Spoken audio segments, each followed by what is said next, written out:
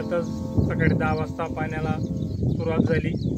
आणि सुमारे अकरा वाजेला जोरदार पाऊस यायच्या आधी वीज कोसळली. ती वीज माझ्या कांद्याच्या शेडवर पडल्यामुळे तो संपूर्ण कांदा बी शेड वीज जळून खाक झाला.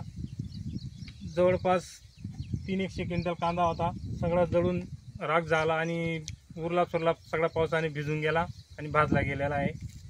त्यामुळे मी शासनाला एकच विनंती करतो की मला काही ना काही थोडीफार नुकसान भरपाई भेटावी. धुळे तालुक्यातल्या मौजे बुरजड या ठिकाणी कालच्या सकाळच्या दहा साडेदहाच्या पावसात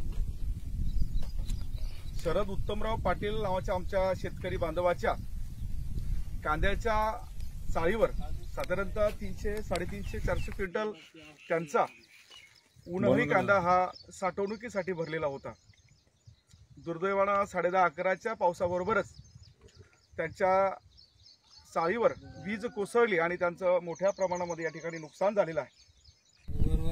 गेल्या वर्षभरामध्ये कोरोनासारख्या महामारीमध्ये सगळं जगच होरपडलेलं असताना शेतकरी बांधवही होरपडला होता आणि याचमध्ये चार महिने कामाग्रस्त करून आमच्या शरद भावानं चांगली अशी कांदा निर्माण करून कांद्याचा चाळ भरवलेला होता. त्यांना आम्ही आमच्या स्तरावर शासनाकडं जास्तीत जास्त कसा लाभ मिळवून देता येईल यासाठी आमचा प्रयत्न राहील